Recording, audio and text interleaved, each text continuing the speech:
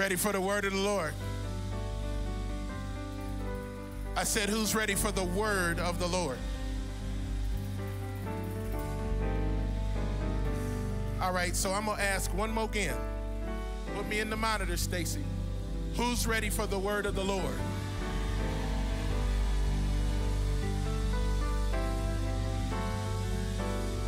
We're standing for the reading of the word. Rashad, we're standing. So is your little friend. I always be messing with the worship team. You ain't gonna sing and then sit down. Y'all ain't no stars. You're gonna get up. That's what you're gonna do. Be like Mike. He's always prepared, filled with the Spirit and the mighty burning fire. Look, I like to have fun in church. Uh, somebody from Washington, D.C. is in the building. We had a guest from D.C. here. We had some other people from other places. Let me tell you something. I don't know what be going on in this back corner, but they started 4th of July early. I went back there to shake hands. Full on bag, open, of sour cream and onion Lay's potato chips. I didn't get none. She didn't give me none. I don't even care that you eating. You just going, I mean, she opened it while I was standing there and looked at me. Good morning, Pastor.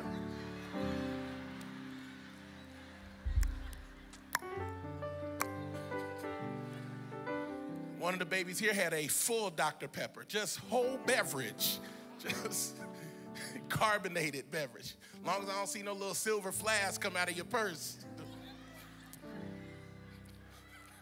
If you need a little taste before the word, hurry up. Me stop, let me stop. like, I know that's right.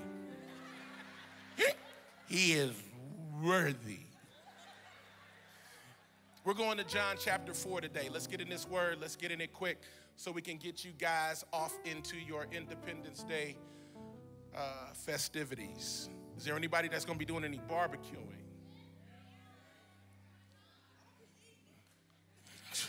Somebody said I'm gonna be eating it. Them the people that you ain't. I don't. I'm not inviting you to the house, cause you the one that be bringing that celery and ranch dressing from Publix. But don't nobody eat that. Bring something we gonna eat. Baked beans with hamburger meat. If your baked beans don't have hamburger meat, don't even call me. Don't invite me. I'm not coming. Put some brown sugar in there. Huh? I'm just trying to help your barbecue. Did you say some pineapples? No. No, ma'am. I'll come to the altar and get delivered. Don't nobody want no pineapple that no. Who these baked beans and pineapples? Show is what.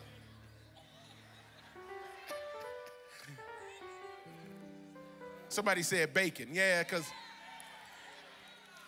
I need y'all to, no, no, no, no. Let me tell you about Pastor Aventer because, no, no, no, we know about that part. But she's been trying to do healthier stuff, so she's like, let's get some turkey bacon in the green beans. I said, let me tell you something. You want to stay happily married? Put real, real bacon in them green beans or in the greens. My nutritionist is watching. Turkey bacon is exactly what we need. Matter of fact, let's have vegan 4th of July. No, I'm playing. That is not, God, he did not call for that. John chapter 4, we're at the 27th verse. We're at the 27th verse. I'm reading from the New King James Version. This is the portion of scripture called the whitened harvest. The whitened harvest. And at this point, Jesus' disciples came and they marveled that he talked with a woman. Now, to give you some backstory, this is John chapter 4, where Jesus is speaking to the woman at the well, a Samaritan woman. Everybody say a Samaritan.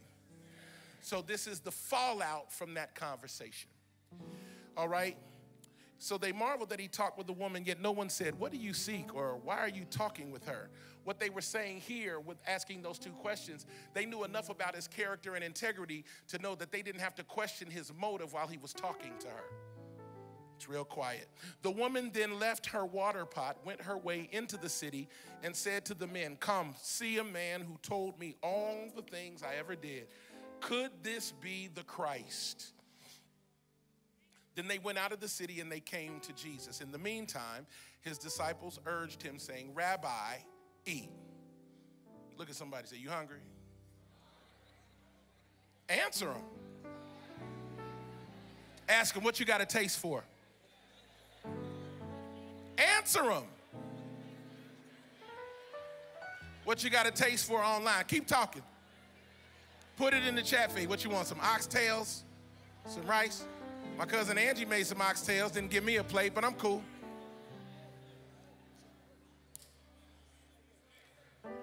It's very important that you know what you're hungry for, and it's very important that you know who prepared it. Because you can't eat everybody's cooking. That's why you got to watch the devil, because he will cook what you want. But it's not going to go down the same as if you let Jesus do it in his timing and his way. Jesus said to them, My food, watch this, my food, my sustenance is to do the will of him who sent me and to finish his work. Somebody say, Finish the work. Do you not say there are still four months and then comes the harvest? Behold, I say to you, lift up your eyes and look at the fields, for they are already white for harvest. Big exclamation. This is Jesus saying things are speeding up. I got I need a prophetic congregation to wake up because I need you to run with me today. I need you to run with me. Jesus said, You think it's four months from now, it's this week. You talking about by fall, God's gonna, no, no, by Tuesday. You know, you know, God works on holidays.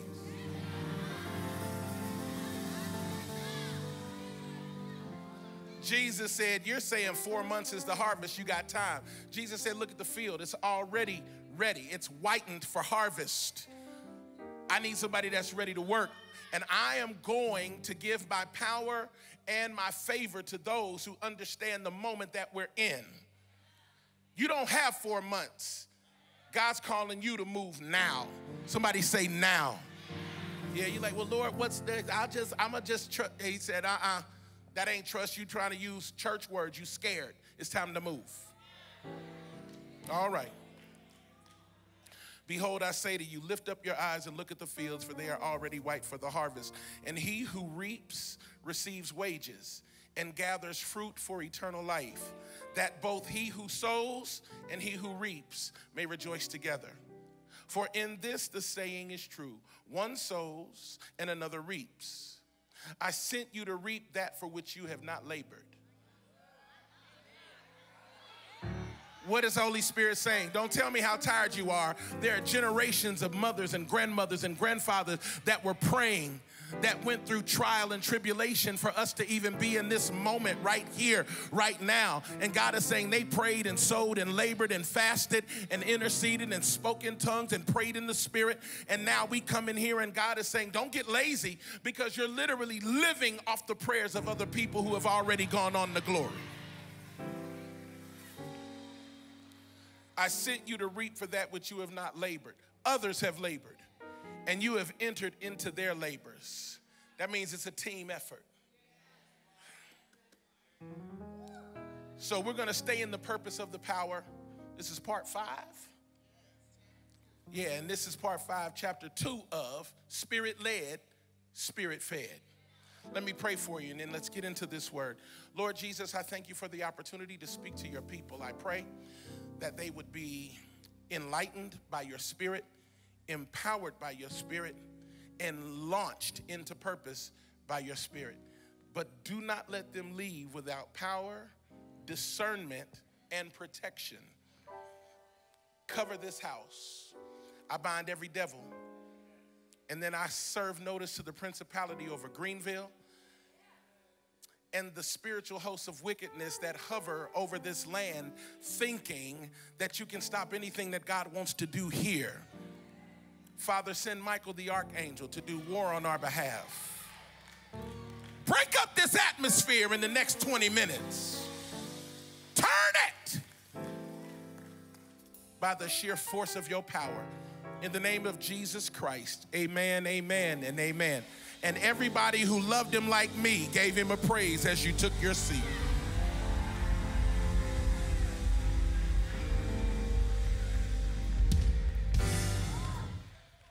All right, I'm going to move quick, so I need you to sit up, get this word, get your notepad ready. Let's not text, but let's be prepared. Amen. Number one, let's do a little bit of remedial coursework, just some refresher. Number one, the day of Pentecost, 50 days after Jesus was raised from the dead, right? Amen. Um, and then he said, Listen, y'all stay here till you get power because you're to need power to do the thing that I have commanded you or mandated you to do.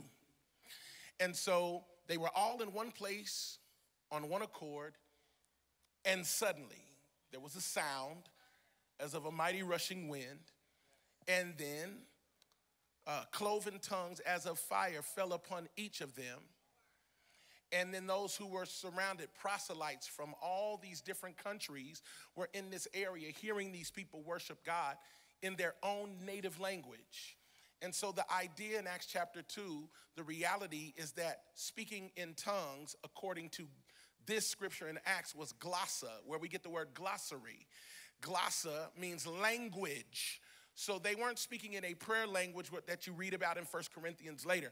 We are talking about the effectual movement of the Holy Spirit in the introduction of the Holy Spirit into the earth outside of the body of Jesus. This is why Jesus said, It's better that I go, because if I don't go, the Holy Spirit will be confined to me. But once I die, all those who believe in me will have the same spirit that I have in order to do the will of the Father in the earth. So each one of us is a version of Christ in the earth. And that is not heresy because scripture says, as he is, so are we in this world. And so until you see yourself with the same power as Jesus, you don't see yourself clearly. I'm already preaching better. And so, that being said, we are now in week five. The purpose of the power. The purpose of the power is not to make yourself feel better or look down on other people because you have some spiritual uh, awareness or awakening that others don't. The Holy Spirit would never lead you to be prideful or arrogant. The Holy Spirit is not going to be vindictive. The Holy Spirit doesn't gossip. You say that you're filled with the Holy Spirit because you speak in tongues, but you speaking in tongues belies the fruit. Because you can speak in a tongue, but talk to me, tell me, uh, show me the fruit. Because we've all been around people who speak in a tongue and will cuss you out in English.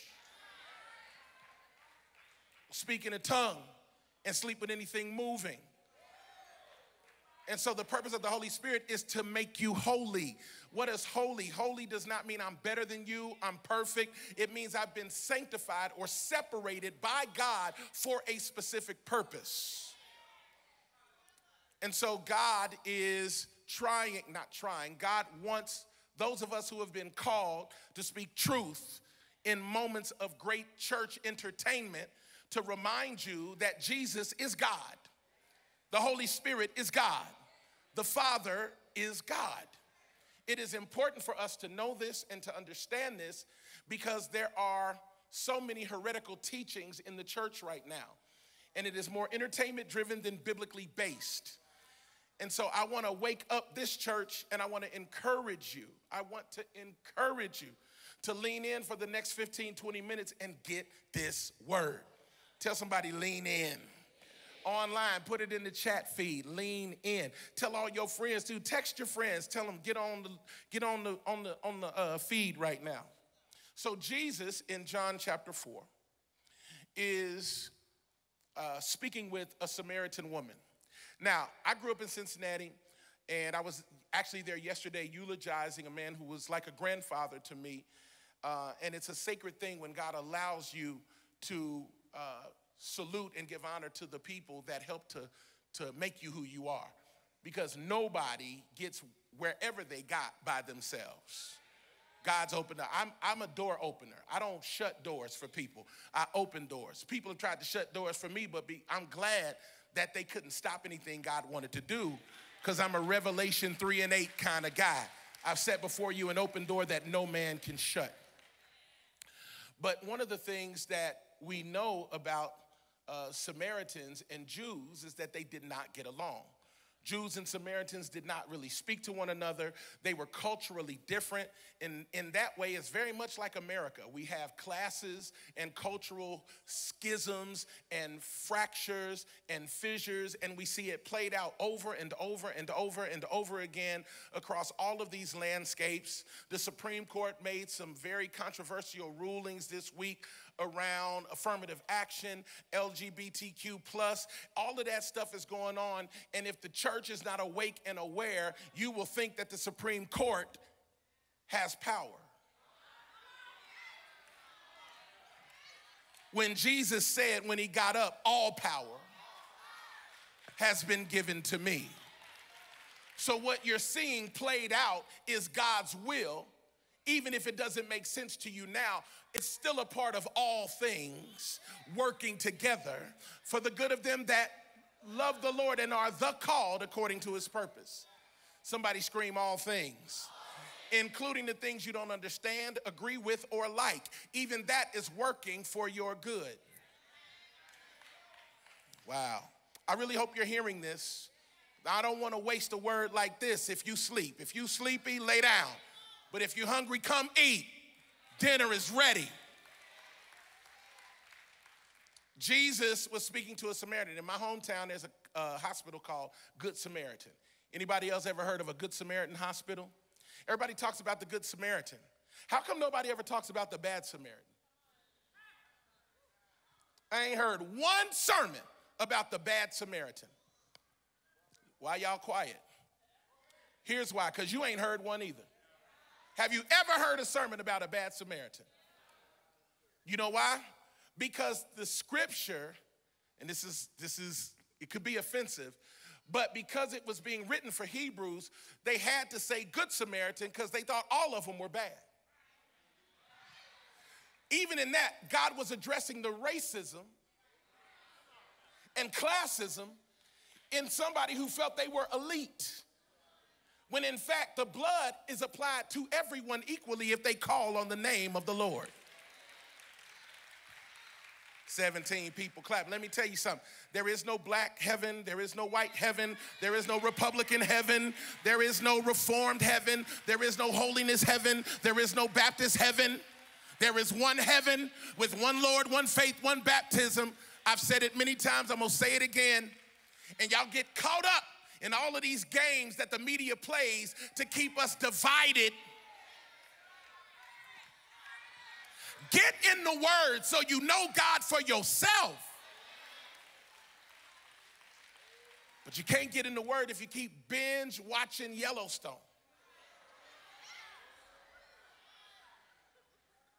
You old, you still watching Love and Hip Hop?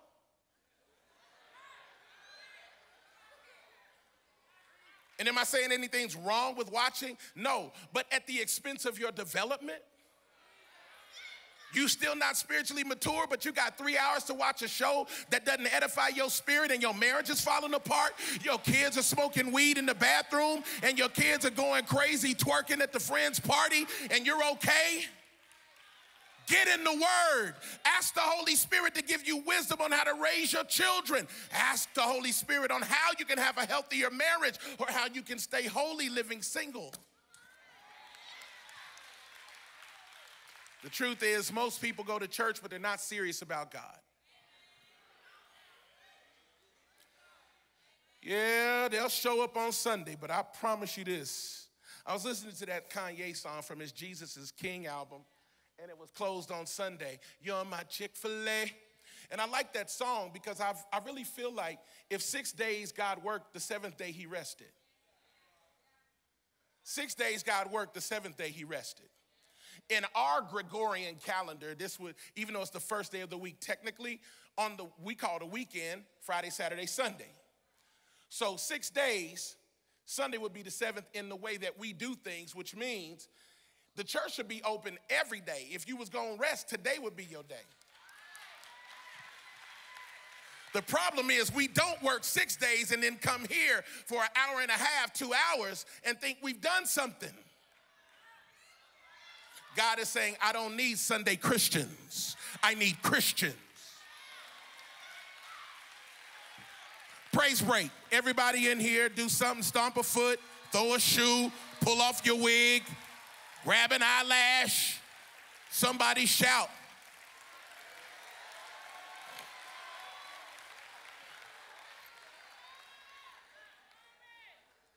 Mm, mm, mm.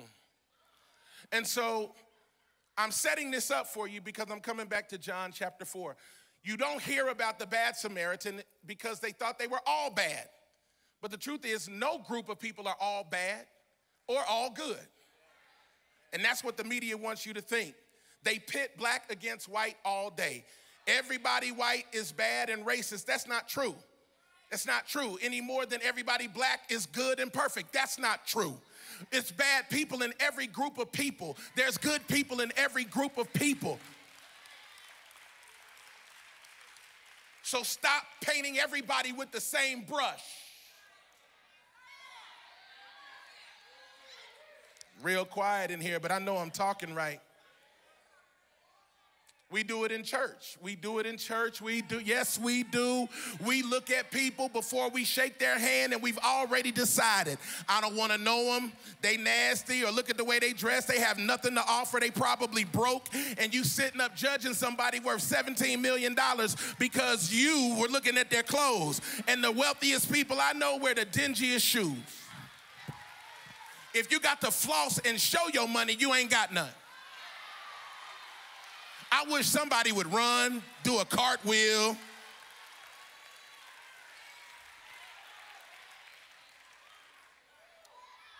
We have been tricked into living in a divided country, and the church has played along. Ooh, God. Help me, Lord. I got to be careful what I say because, you know, people get offended when you start talking about the church and politics. But that thing is on my spirit because Jesus was not a politician. He is not a politician. He is a monarch. He is a king. And kings make decrees and angels move when he speaks.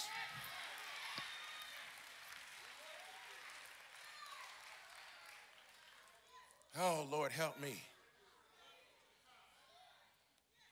And so we hear about these good, this good Samaritan, the, the parable, but here Jesus is meeting with a Samaritan woman.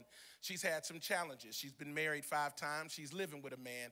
And so before anybody judges, some of y'all had a couple marriages and you done live with somebody too. So just be quiet. And if you didn't live with him, you slept with him and kept, kept some clothes in one of them drawers till y'all broke up. And I'm coming over there. Don't be there when I come over there. I'm gonna get my stuff. I'm gonna leave you a little nasty key on the cabinet. You don't want to say amen because then they're going to be judging you too. But while they looking, they got some stuff they don't want you to know about either. I'm so tired of church folk. Everybody in here needs the cross. Everybody in here needs the blood. And if you think you don't, this is not the church for you. God bless you. Go somewhere where everybody is perfect. This is not that place. Everyone in here is forgiven. I need a praise break. I need a praise break, Marlo. I need a praise break. I said, I need a praise break. If there's anybody in here that's been forgiven, can you give the Lord a praise for being forgiven?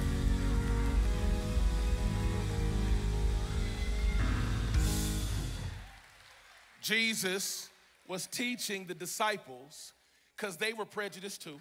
They had issues too.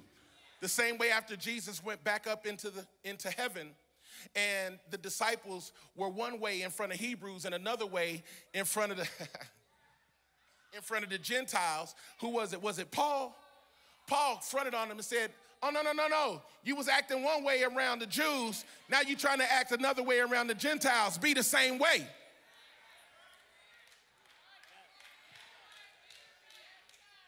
But people are put on a different face based on who they in front of. It's people like that in my life. They don't know though. I, I got the, the anointing of multiple faces. I can look at you and see that you're smiling, but I know what's behind it. Anybody else got the Holy Ghost? You have discernment. Jesus, Jesus, hallelujah. Jesus was having a conversation with someone culturally that the people he was leading would look at as unworthy of his conversation and his time.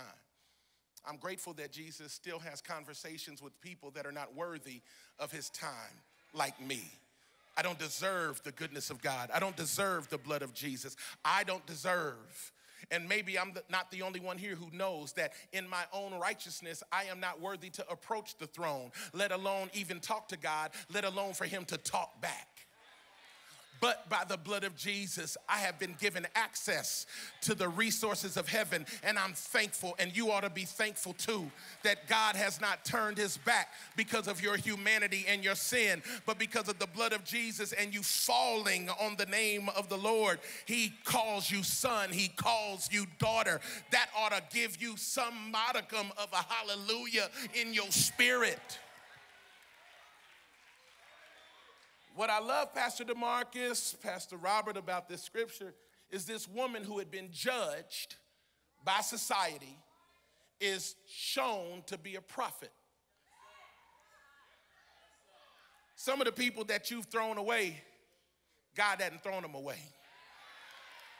She gets, watch this, she gets to her village and says, Come see a man who told me everything I ever did.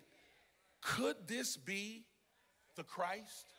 Which means in all them five marriages, she had been looking for Jesus. Living with a man. Something in her was still searching for the Christ. And even though she was in a bad situation and had gone through bad things, she still was looking for Jesus. That's why you can't throw somebody away because they on drugs. That's why you can't throw somebody away because they're in the club last night. Because you don't know that even in the midst of what they're going through, they're still looking for Jesus. I wish I had some help. You ain't always shouted. You were somewhere you didn't need to be, but in your heart you were still looking for it was there anybody that was sinning but still searching? Oh, you can sin and search. There are people who twerk and search. There are people who drink and search. Why you think they drinking? Hoping that peace is at the bottom of the bottle. But what you find out is once the high is gone, that's when Jesus shows up. I need some help in here. Come see a man who told me everything I've ever done. Could this be who I've been looking for? I've been giving my body and my time to this and to this and to this when the whole time I just needed one conversation at a well. Woo. So then the disciples walk up and they're like, uh oh, why is he talking to her? But they didn't question him. Didn't mean they didn't have questions. They just knew you better keep them in your mouth. You better swallow that question, Thomas, Bartholomew. And then they said, Rabbi, it's hot. You've been out here at this well. It's the heat of the day. You've been ministering nonstop. Eat. And he says, I have food to eat which you do not know. And they were like, well, um, has anyone brought, somebody brought him a plate? I don't see no aluminum foil. Somebody brought him a plate. Somebody went down to Mary Magdalene's house, got him some, some rib tips and baked beans with pineapples in them. He not gonna eat that. Jesus don't want no pineapple in his baked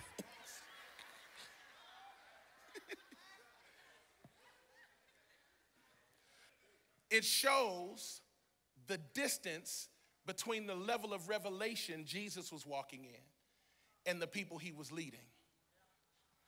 He said, I have food that you're not aware of. And they were like, I didn't know somebody brought him a plate.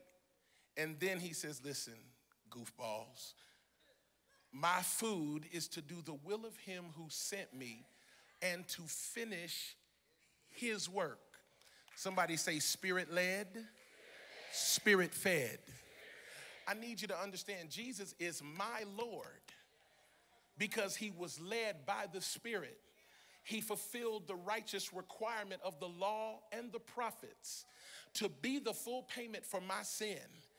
He is my. Now, I want everybody to say this Jesus is Lord. Scripture says nobody can say that without the Holy Ghost. So that's gonna mess with your theology for people who think you gotta speak in a tongue. Say Jesus is Lord. Now, here's the thing everybody's going to say that.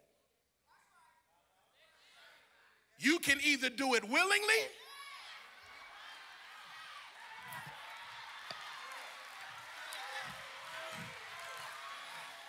or you can do it unwillingly at the judgment day. But for me, I've said it early. I don't know why the Holy Ghost said this to me, but he said, There will be no one in hell who doesn't know why they're there.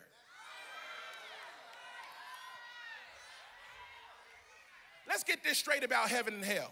I want everybody to hear me real clear. Anyone who goes to heaven other than Jesus does not deserve it. You're only going to get to heaven because of what Jesus did. I wonder, did everybody hear me? Don't you ever be walking up to it, ha my works got me here. You better bow down. The only, the only way you get through them gates is because the Father sees the blood of his Son and has credited to your account. Normally, you would shout right there. On the flip side, anyone who goes to hell had to work hard to get there. Because God has made, He has fought for souls and has made it so easy for you to go to heaven that you can get saved at six years old, live like hell, and He will still credit your confession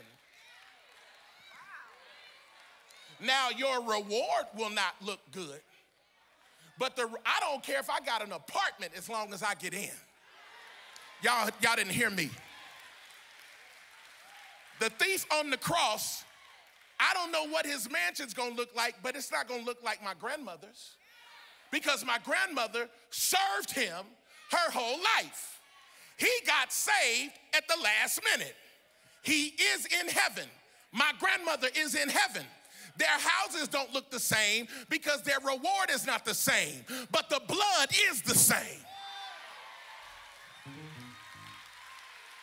This is really good. Are y'all getting what I'm saying? Some of you are like, well, you can lose your salvation. No, you can't. You can't lose it any more than you can earn it. Confess with your mouth, believe in your heart that Jesus is Lord, you shall be saved. Now, the process of sanctification looks different for everyone because the things I struggle with, you may not struggle with. And the Holy Spirit might take 45 years to get me free, and you might get free in 12 days. Good for you, but it doesn't mean that you're better than me. I'm tired of you looking at me because I'm still in my process. Just because I'm in my process doesn't mean I don't love God. Doesn't mean I'm not saved. Doesn't mean I'm not sincere. Doesn't mean that I'm not serious. I'm a Samaritan at the well waiting for Jesus to give me the revelation.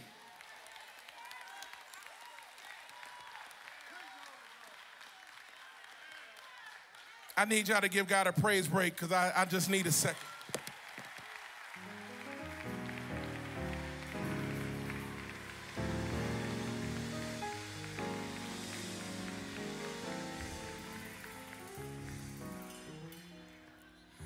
Somebody say it's time to eat. Spirit led, spirit led. He said, I have food you know not of. What he's saying is, what sustains me is doing the will of my Father. Jesus' beginning of ministry started with what? A 40 day fast. He just decided to go into the wilderness? What does scripture say? I'm sorry, he was led where? Up by the what? I like that you said he wasn't, it wasn't just that he was led by the Spirit, he was led, even though it was temptation, it was elevation. Some of y'all like this, the devil. No, that's elevation calling. The temptation that's in front of you is to see if you graduated. The temptation is the exam. Pastor DeMarcus, I'm, i wish somebody other than you were catching. I said the temptation is not the devil, it is an opportunity to see if the word that you've been dining on is enough to sustain you in time of testing.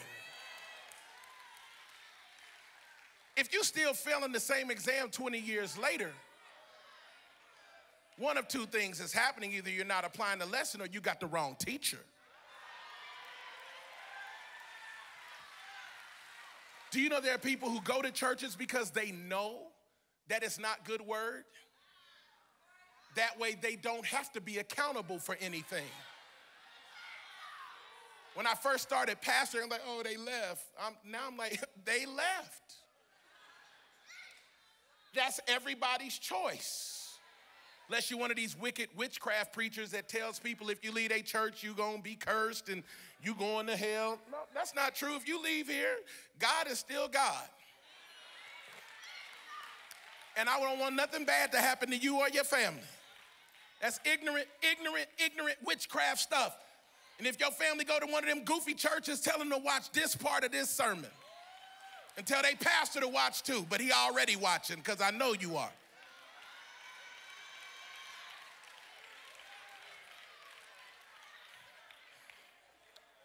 Somebody say it's time to eat. Spirit led, spirit fed. Jesus was led up by the Spirit into the wilderness to be tempted of the devil. He passed the test. It says, after he passed the test, what happened? He was hungry. Here comes Satan. Of course, three times he offers them things. And Jesus responded with the word. It is written, it is written, it is written. Put it in the chat feed. It is written. Write it down in your, in your notes. It is written. If you're going to pass the test, you're going to need the word. Your opinion doesn't matter to Satan. Your, your degrees don't matter to Satan. It's some, it's some folk with PhDs that are, that are possessed of demons. Your money can't save you. There are billionaires who are going to hell. I'm here to tell you this morning is still morning, my God. Your bosh is still morning for another minute. I'm here to tell you this morning that Jesus has the power to sustain you by the Holy Ghost in every area that He's taking you to. Now, listen to me. Your appetite will not change, but how it is filled will.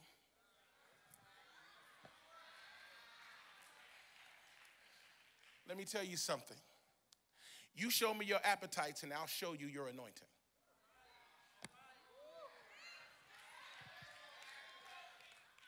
Show me what you're hungry for, and I'll show you what you called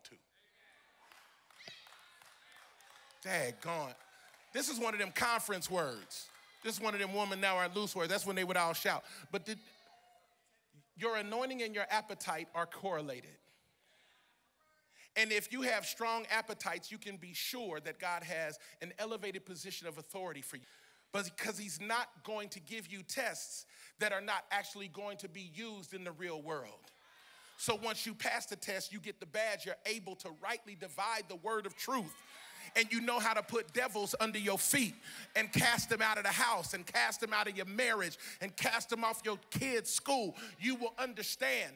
And we're getting ready to get into it in a few weeks the, the, the, the, the, the, next, not the next, we got two sermon series. We got one for August, but after that, we got one called How Demons Operate.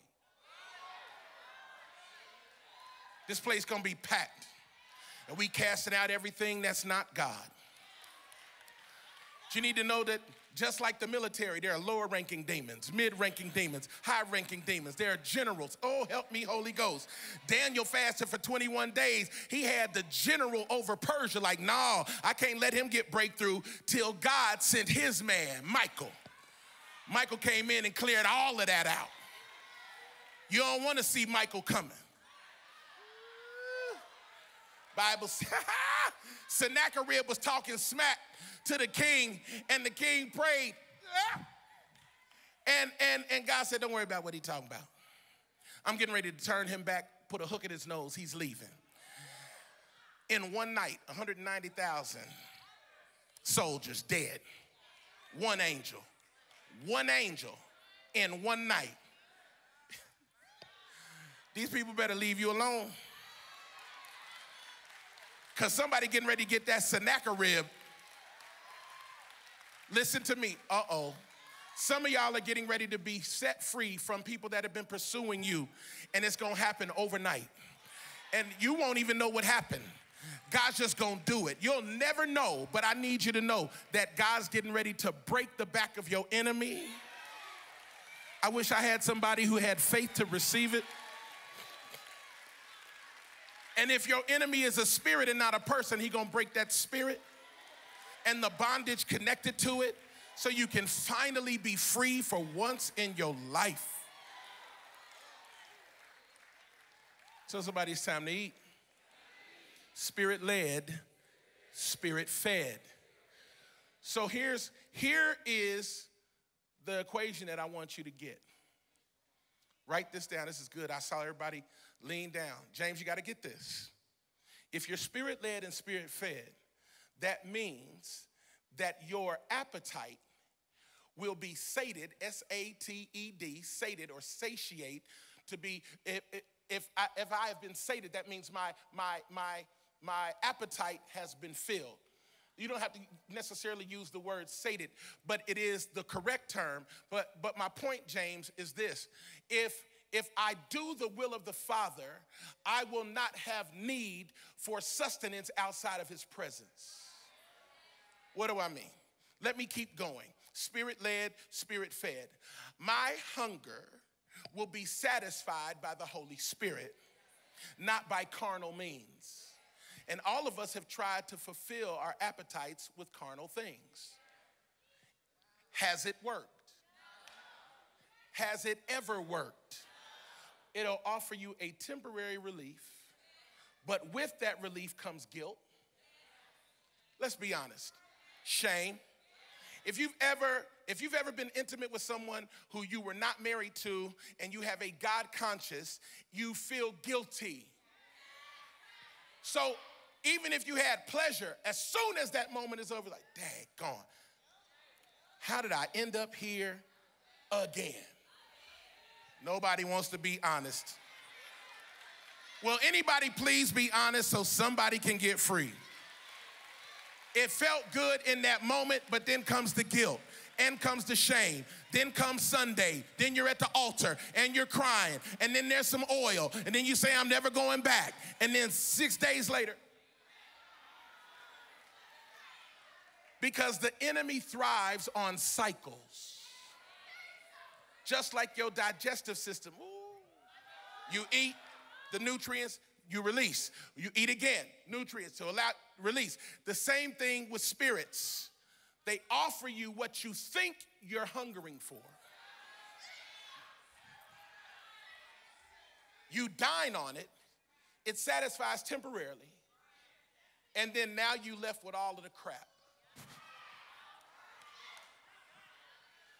But Jesus said, No, I, I, I have food you know not of. My food is to do the will of the Father and finish the work. Tell somebody, finish. Your hunger is not leaving till you do what you were created to do. I, I wish I was talking to somebody. I'm looking for the person who I'm speaking to. Your appetite is not gonna go away until you finish the work. And God has allowed you to search everything else for it to come up empty so that you could come to Him so that he could fill you because nobody else could fill you and nothing else could fill you, and you've tried everything else. Seven people applaud. Let me hurry in. Jesus was dining on something people couldn't see. I asked the Lord, why am I here? This morning I asked him just straight up. Why am I in Greenville? Why am I here? Because the level of demonic warfare over this region is crazy. Nope. But if you didn't live here, you wouldn't know it. Because it looks nice. You got a little, little park downtown, river, got you a bridge. Y'all fancy. Got your little market on Saturday. They shut Main Street down. It's so nice. till you pull that first layer back. And it's a religious demon over this city, over this region. It's more churches in this city than anywhere else, and it's still just as racist, just as prejudiced, just as mean, just as. So, all them churches, and we still can't speak to one another?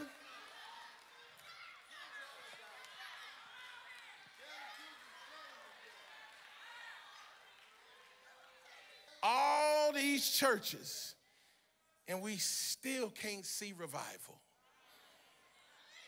Because just because it's a building with the name church don't mean Jesus was ever invited.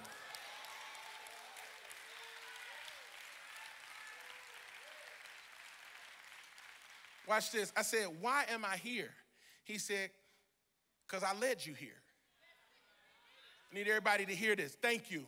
And that blesses me. I appreciate that. Because sometimes I've been like, God, I think I missed it. I was doing fine.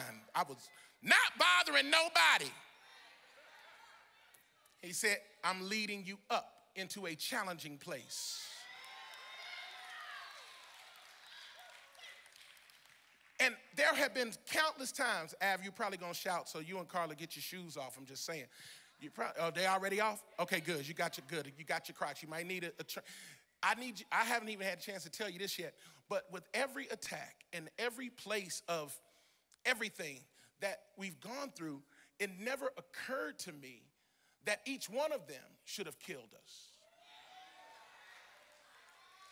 We should have nothing.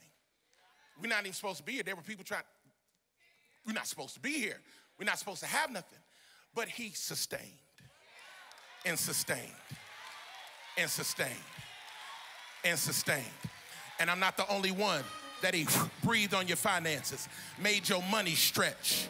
And when other people were throwing you away, somebody would show up at the right moment or at the last moment. Who am I talking to?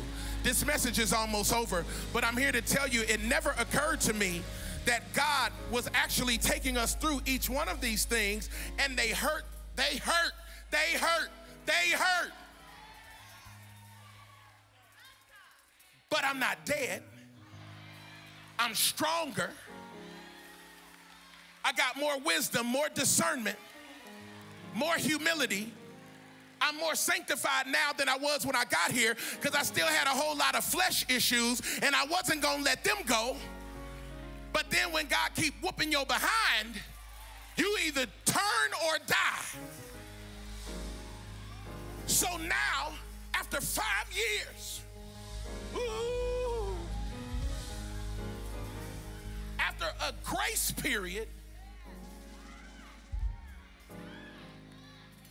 I find myself with a different strength, a different fortitude. But everyone else left. I didn't call them. You did. I called you. And so here I am, being sustained in a wilderness, just like my Savior. And some of you have been sustained in the wilderness. But I'm here to tell you the manna is about to cease. Pastor DeMarcus, don't start crying. I can't look at you like that right now. Some of y'all don't know what I just said. The manna was given to the children of Israel while they were in the wilderness. When they stepped into Canaan, when they got into their promise, the manna stopped. Because in your promise, you don't need a miracle, you need a plan.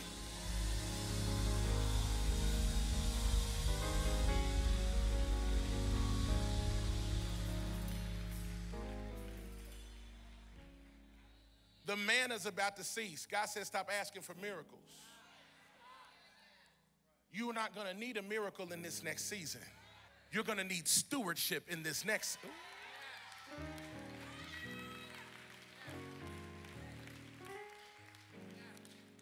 I don't know that anybody caught it. Spirit led, spirit. Somebody say spirit led, spirit fed. My appetite is now aligned with the will of the Father. And the only time I'm satisfied is when He's satisfied. I want somebody to say this I won't be satisfied until the Holy Ghost is satisfied. That's being spirit led and spirit fed. Jesus said, I got food you don't know about. I, I literally find substance and sustenance in doing the will of the Father. I'm not hungry for food, I'm hungry to do His will. Jesus was talking to a woman that society says he shouldn't talk to, that he was above her, that her entire people group was unworthy. And Jesus goes right to her at the well, introduces himself, makes himself available, and she gets free. She gets saved, and every many people in her village got saved. So she went from a broken woman, five times divorced, living with a man, to a prophet and an evangelist in one conversation. That's being spirit led and spirit fed. Let me tell you what happens when you're spirit led and spirit fed. What takes years will take days. I want to talk to some people that want to be led by the Spirit. I said, I want to talk to somebody. There it is. There's a release on that seed. Whatever you're sowing, there's a release for your family on that seed. Let me tell you something.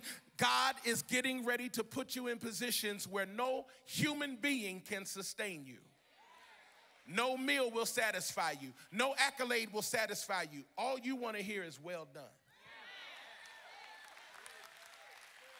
And the truth is, Q, that's all God wanted was to get you graduating from the opinions of people. I need, I need, I, well, I wish they would like me. I wish they would. Just what my wife said. Why? Why do you care? I'm not here to impress you. I'm not here to please you. I am here to do the will of the Father. Let me tell you something. There are times when God will ask me to say something, and I'm like, God, that's not popular. And He was like, Yeah, I don't care. If you're a prophet and you're more concerned with the applause of people than the approval of God, you're not a prophet, you're a profiteer. Because there are people who will prophesy what you want if you give them $50 in the $100 line. Yeah, I'm saying it. There are people who bastardize the gift so they can make money. Then there are people like my great grandmother who had a gift of healing so profound that there was a line wrapped around her house 24 hours a day. And then she asked the Lord to take that gift from her. I don't know if it was 24 hours a day, but it was a line all the time to the point that she couldn't, she was too weary. She said, God, take the gift, take it away. And I said, She's different than a lot of these people today. Because if somebody had that gift today, they'd open up an arena and they would make you pay for what they got for free.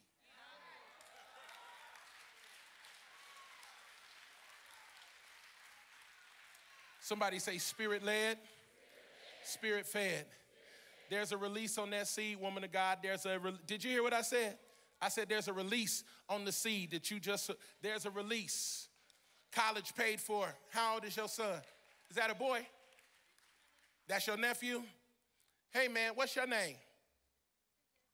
Jesse with a pacifier. I like that name, Jesse. Jesse had a son named David. Jesse, you're gonna be mighty in the land. Your sons will be mighty in the land. I wish I had some help in here. Spirit led, spirit fed. I got something to say. I think you're gonna like it. Linton, I think you're gonna like this. When you're led by the Spirit, He's not gonna put you in front of the crowd.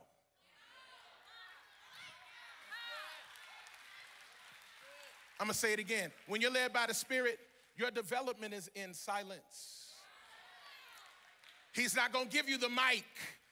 You're not gonna get the platform, and you're hungry for ambition, and that's why you don't have it yet. God's got to burn out your ambition. There's a release on that seed, woman of God. There is a release on that seed. I feel the Holy Ghost. Listen to me. God will lead you in obscure places to make sure that you have what you need in your soul to sustain you in your calling.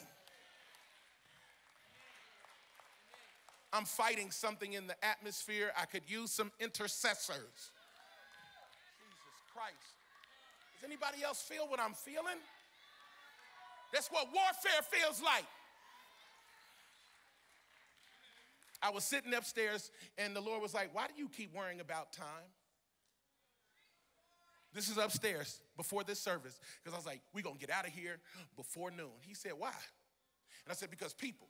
He said, Did you ask me? You more concerned with them than me moving?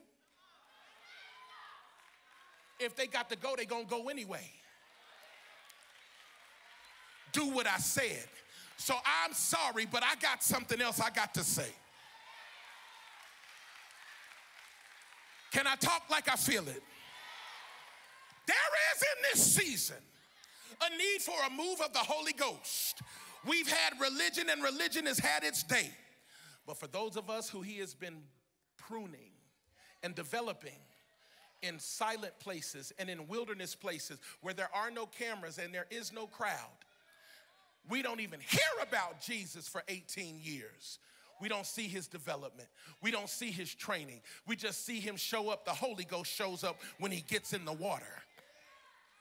I don't know what happened for 18 years, and neither do you, but whatever it was, there's a release on that seed.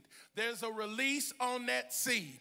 Hallelujah. Whatever it was, was enough for him to be used by the Father to save the whole world. So stop getting upset because no one knows your name yet. They didn't know his either. Oh, God's about to introduce the world to some sudden prophets but it's not sudden to you. You've been that the whole time. But God's about to introduce you. Come on, Elijah. Elijah shows up and says, Ahab, won't be no rain till I say so. He hadn't even been introduced. We don't know anything about him. We don't know what one thing. God is getting ready to introduce you his way. Stop trying to introduce yourself. Stop trying to open the door yourself. God is going to kick the door in for you. There's a release on that seed, man of God. There's a release on that seed. Hallelujah. Online, I'm saying this to you as I bring this sermon to a close. Stop searching for validation from people. God develops leaders in silence, He develops them in solitude. Jesus could have gone to the village where the woman lived and done a sermon, but he wasn't trying to start a new synagogue there. He wanted to unlock her because she had the oil for the region. Oh my God. My job is not to impress you with my biblical knowledge, it's to unlock you so you can walk in power at your house. There's a release on that seed. There's a release, Jordan. Hear me, Jordan, you just crossed over. The Jordan is a symbol of crossing over. You've just crossed over. I feel the Holy Ghost in here. Somebody better move, man of God, as you walk. I see freedom and I see riches. Something is happening in the service as I close, you need to thank God that He kept you hidden and He sustained you when nobody else would have given you anything. God kept you, God sustained you. That is being spirit led and spirit fed. And Jesus Himself was spirit led and spirit fed. Jesus will satisfy the hunger. There is a release on your seed there's a release on that seed. MJ, get some from your mama, sow it in here. It's for your sons and your daughters. Oh God. Get something in your hands for Tyler and Eric. I don't care what it is. It's a seed for their sons and their daughters. They done put the red out of time thing up there for me. Like I'm going, listen. I will respect my control room. But I'm going to respect the Holy Ghost. Listen, something's shifting. Do y'all feel it? No, no, no, no. There's a release, China, for the boys. on that seed.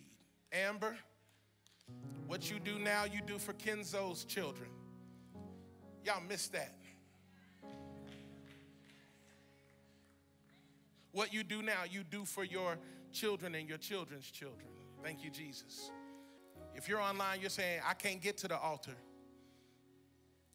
If you want to do it electronically, if the Lord leads you, then do it. There is no compulsion. Somebody say, Spirit led, Spirit fed. I only want to be where the Holy Ghost wants me to be. We're going to have to talk about Atlanta. Because I know the Lord said Atlanta. He told me that before I got married, then gave me a name when I got married. I had all of that. I had all of this. Went down there, then got a blood clot this week.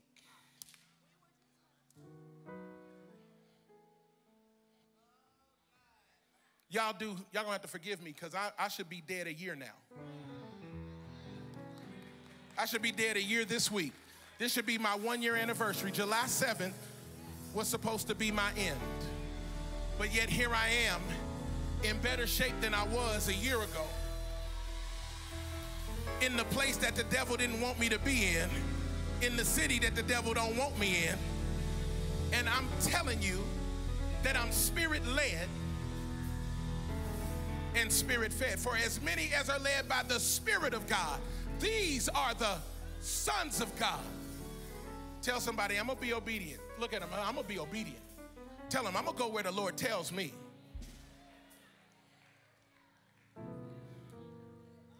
Everyone is standing.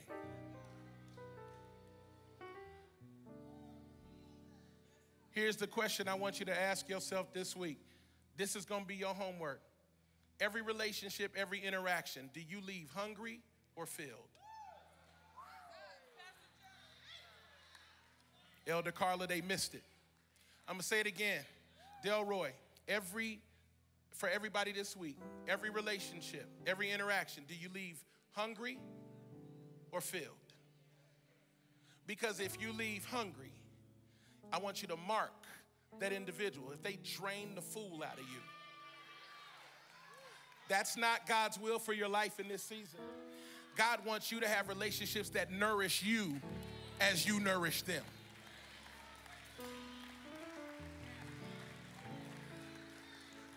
No more upside down relationships, except for my kids. My kids cannot give me back, but they're not supposed to. I understand that dynamic. But if I'm in a relationship with a leader, and every time I talk to you, you sitting in depression, every time I talk to you, it's another drama, some more trials. I'm gonna have to rethink my proximity to you. Yesterday, after the funeral, I went and spent some time with some of my family. I got to see my Aunt Sherry, who came in here in a walker. When I saw her yesterday, she said, Do you notice anything different? She said she went somewhere and they took her walker. And she's walking. Now, y'all don't understand because she had been on that walker. I need you to understand that God is doing miracles. It starts here, but you're not going to catch it till you get home. Because God wants the miracle at your house, not in this room. I'm going to know we hit revival when you at your house and can't stop shouting. Revival is not shouting here till 12:30. Revival is when you can't stop praising him at your house. When your children say, "Hey, what's that one song that that gospel song you play? Can you play it real?" Uh-oh. When your kids are the initiators of revival. That's when you know. Spirit led, spirit fed. I want what the Holy Spirit is cooking, which means I need to be where the Holy Spirit wants me to be. I'm in the city that God assigned for me to be in. It doesn't mean that it's easy, but he don't give he don't give easy work to his frontline soldiers. Where are the frontline soldiers at? Hallelujah. I'm committed to this work. I'm committed to what God wants to do. Hands lifted. Father, as many as are led by the Spirit of God, these are the sons and daughters of God.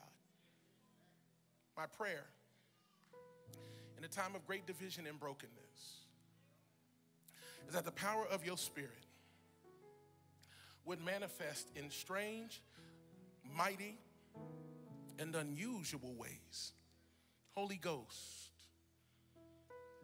hit us like a, a meteor and lay waste to anything that does not bring you glory. Fill us with power and the Holy Ghost. And I thank you today for the saints of God on a 4th of July weekend packing your house to give you glory. Now, I thank you for our rock family, so gracious and loving. And I pray by the power of the Holy Ghost that you would protect everybody's family here.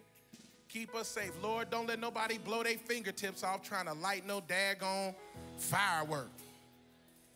And Lord, deliver us from anyone who would put pineapples in baked beans.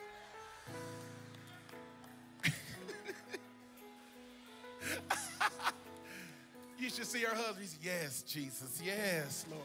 I mean, no, Lord. No. I got to go home with it, Jesus. Get the glory. Now, what's about to happen now, Lord, is you're about to hear a sound from Relentless that lets you know we going to stay spirit led and spirit fed including having uncomfortable conversations with people from different parts of society, like Jesus did. We're not going to judge people, we're going to be conduits for unity and reconciliation in Jesus' name. Lord, when I say amen, we're going to shout like we lost our minds. In Jesus' name, amen.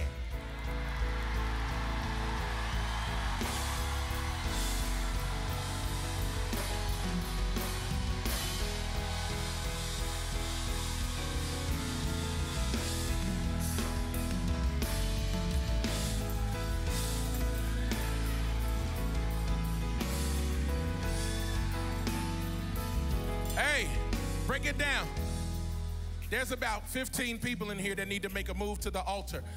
The Lord has called you to be a part of this church, or you know that you're not saved, or you're not sure about your salvation.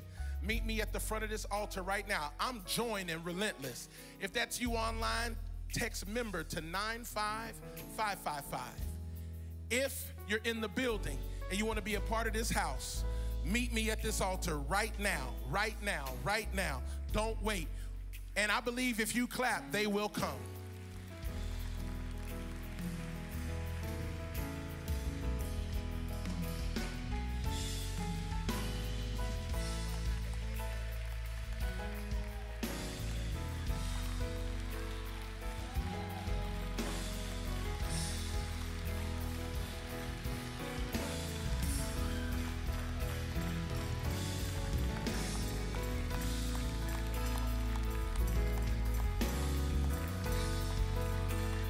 They're not the only ones.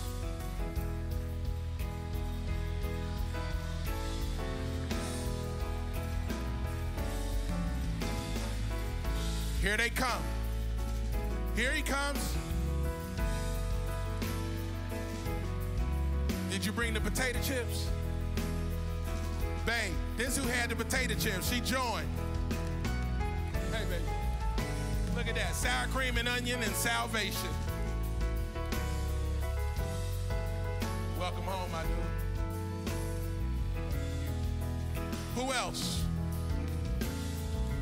come.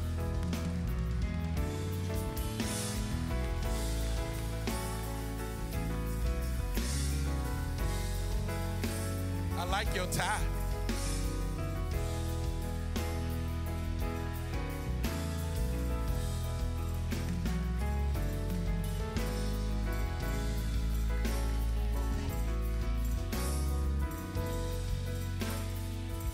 Let's scoot him back down just a little bit.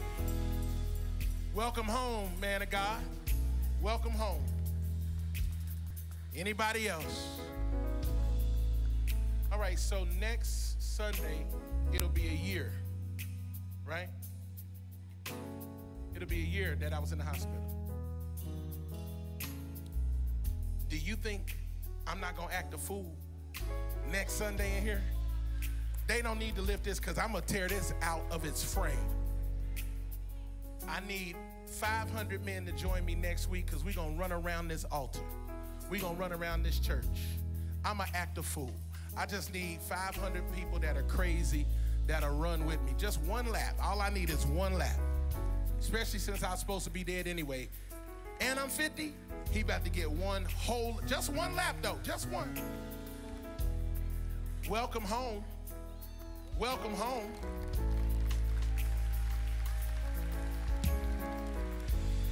I want you to pray this prayer with me. Your family out here is going to pray it with you. Online, if you're joining, pray this as well. Let's pray together. Lord Jesus, it's me. I confess with my mouth and believe in my heart that Jesus is Lord. Thank you for the blood that was shed for me. I receive the free gift of salvation, not through my works, but the finished work of the cross. The blood is enough to pay for all my sins. Now, Holy Spirit, come live inside and teach me how to be more like Jesus each and every day. You are my Savior and my Lord. In Jesus' name, amen, amen, and amen. Can somebody give the Lord a great praise?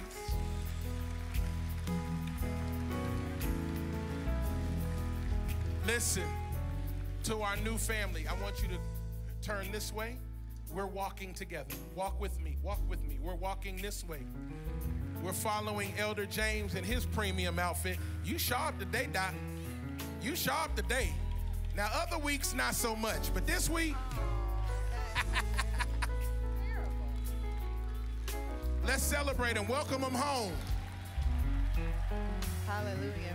Pastor Ab, you have something you want to share? Yes, I do. Have you been blessed today? I know Pastor John alluded to this. However, we're going to take this moment to pray for Pastor John. Um, on Thursday, this time last year, is when the saddle PE was supposed to take him immediately. And so in this, I'm sorry, saddle pulmonary embolism um, was to um, kill him. So we're gonna have Pastor Lamores, Pastor Demarcus, Pastor Robert to come. Um, we're gonna pray for our pastor because we don't want the enemy to think by chance that we're gonna forget this miracle. So we're gonna pray. We're gonna cover my faith increased, my relationship with God increased as I was sitting there looking at my husband in CCU, looking at me this way, moving his head because they were like, no sudden moves. There's nothing we'll be able to do if the one in your leg meets the one in your chest. And I am beyond grateful to see this Jubilee moment and what it means because the enemy was hoping that he would be able to hijack him before he made it here, before we made it here. So we're going to take a moment and we're going to say a prayer for Pastor John and his continued health. Pastor Charles, where are you if you're close? And he usually uh, is securing this perimeter. We thank God for uh, our executive pastor, Pastor Charles. He'll be praying wherever he is. But right now, in this moment, we're going to go to God in prayer for Pastor John before we let go today because we know on next Sunday is the Sunday that the elders and Pastor Lamore, everybody had to cover because we were in the hospital. One year later, the devil lost. And we're going to pray right here, right here, right here. Heavenly Father, um, This is our pastor. Uh, this is my brother and my friend. And last year, he came to Greenville, then came to Atlanta, then went to go visit family, and he ended up in the hospital. But not this year. Not this time. We lift up John and Aventer Gray and their children that the warfare that we've been facing this morning was an attempt to disrail what had been done today. But no crop failure shall happen this time. You have already sent a healing from on high. This time, God, we are girding him, keeping him, praying for him, lifting up his head, his heart, his mind, his spirit. Everything that he's poured out to us in this temple, God, restore back unto him and his family. Let him know that the labor that he's experiencing, God, it is not a labor that is not going to be answered, God. This labor is not in vain. You have already gone ahead and fixed what he's done today. But God, keep his heart, keep his mind steady, keep him free from all hurt, harm, and danger. Keep him free from any attack of the enemy. Keep him free from anything that would cause him to believe that you are not fully with him. Don't attack his mind, enemy. Let him know that he is worthy. Let him know that you have already gone ahead and spoken a word over him, that he shall finish the next 50 years running faster than he did the first 50 years. He will complete this race with power. He will complete this race expediently, God. God. We don't have time right now. There are souls dependent upon him. There are souls with his name on him, God. Let him know that you have already gone ahead and fixed it. And any attack of the enemy that shall come, the same way we are covering him right now, let the enemy know that we have his back, we have his side, you have his front, God. You have already given angels charge over him that no weapon formed against him shall prosper. God, have your way in his life. Protect his wife, everything that she's poured out, every prayer that she's prayed, everything that she's done to keep him lifted, God. God, restore her, repay her, replenish her, renew her, refresh her, protect their children, God, as they have worried about their dad. Let them know that He is in their hands and they are in His hands. And so, whatever they were concerned about, God, you have perfected that which we are concerned about. So, from this day forward, God, we know that you are not only protecting John Gray and Aventer Gray and Four and Theory, but everything that is connected to Relentless Church, God. Have your way, perfect it, make it it right in your sight. Burn down those iniquities, burn down those things that would try to come against you, God. Create a hedge of protection around them so that what was trying to take his heart out last year has no way to get in it this year. We have sealed these things. The Holy Spirit is with him, the Holy Spirit is on him. And because he was there last year, we have all seen not only the weight loss, but we have seen the growth in the Spirit. There are things that he's maturing in, there are things that he's developing in. And because of that, God, today is a day that he has established and declared a new independence, but a dependence on you. A dependence on you.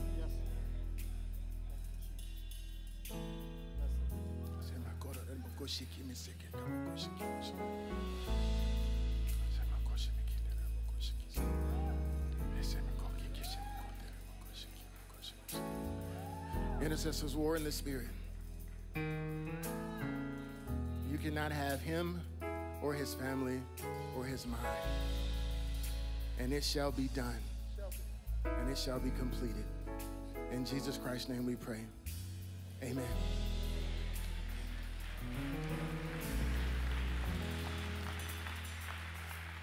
I love y'all. Y'all didn't even have to stay for that. I'm grateful that you did. Thank you for staying. Thank you for being here. Thank you for being a part of my life my wife and our children.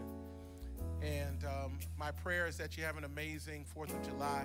Do me a favor. It would bless me if you would speak life and blessings over five people before you go. Just tell them, God bless you. God bless your family. God bless your health. Speak life. You can do it while I'm giving the benediction. May the Lord bless you and keep you, cause his face to shine upon you. May the Lord God be gracious to you, show you his favor give you his peace. God bless you, Relentless Church. This Wednesday, Pastor DeMarcus is going to be teaching on finance, and then we have a breakout with Malik Davis. And we're going to help our church to be debt free. and we're going to talk about credit. Everybody say 850. That's the highest credit score. I'm bringing the best in the business to teach us, and I'm going to help some people who are serious to get your credit where it needs to be. You got to be here this Wednesday. It's changing everything. We love you. Happy 4th of July.